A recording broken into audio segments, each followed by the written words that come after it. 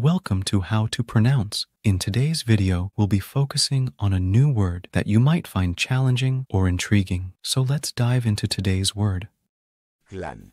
which means A close-knit group of interrelated families or communities. let's say it all together. Clan.